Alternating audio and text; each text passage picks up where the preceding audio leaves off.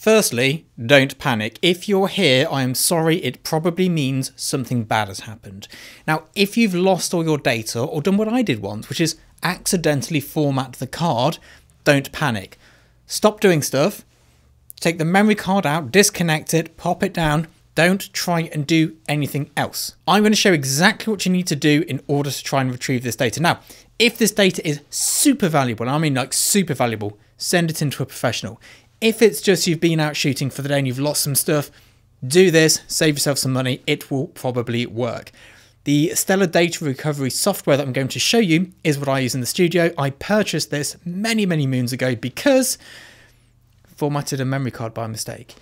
And it wasn't really worth spending hundreds and hundreds of pounds to get it sorted because it was just personal pictures. But I did want the pictures.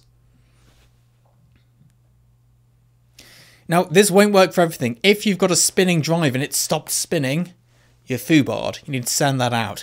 But if you've deleted something, it's corrupted, the card suddenly on the back of the camera says, please format card. Don't format the card. Take it out and run it through this software. Let me show you exactly what to do, how to do it. I'm going to pop a link in the description below. So hopefully when you have this hellish moment of realizing that you've either made a mistake or the card has gone bad, you can fix what you need to fix. It's something I have on all my computers just as a safe keep because you never know when you're going to accidentally delete something on a drive.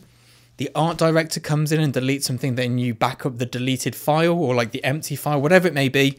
This is the bit of kit and software that we use to try and fix it. Now, Stellar Data Recovery is something I've used for years, ever since my wedding debacle where I thought I'd imported the files into Lightroom. What I'd done is I'd added them and I was actually reading them off the compact flash card, which I then formatted. We've all done it, don't worry, this sorted me right out. So here's the drive that I've just formatted, drive 1. Um, all my other drives here, you can see them. Sometimes if it's gone really bad, you can't see it and you have to do a slightly different approach. But for now, let's get you sorted. So we go to scan. This is doing a scan now of the drive and seeing what it can find. I'm hoping to get back some videos that I shot recently, but we'll see what turns up. Now, being a non-techie person, which I'm sure you are too if you're watching this, which is why you're watching this, I have no idea what this does, but it's some kind of voodoo magic. Scanning complete, six files found in five folders. Brilliant. I was looking for two or three video clips, so that's perfect. We'll go to OK. Then all we have to do is go to recover. So once we've clicked recover, we choose where we want to put these to. I tend to go to my desktop.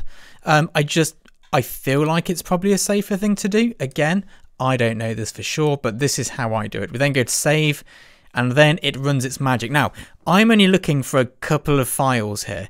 If you've tanked an entire like 128 gig memory card, at this point, don't touch anything Go and make yourself a coffee, a tea, whatever it may be.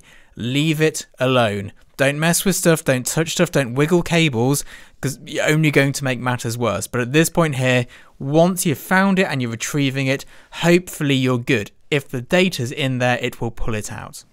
Okay, so let's finish this little whizzy process. We've now got this root folder into private. I don't recognize these names, but there we go. Clip, there we go. And here is a video I shot many, many moons ago. And this is what most of my videos start out with. It's me going, what the hell's going on? There we go. And that was what it says from today. Can I see any information in there? Command I. I can't see when I shot this, but it was a while ago because it was pre-haircut. That is how to get your files back if you've deleted them or they've corrupted. Very simple, very affordable very low stress. I have this on all of my machines just in case something goes very south um, and we've not managed to back it up correctly or we've backed up a bad folder, which has happened before.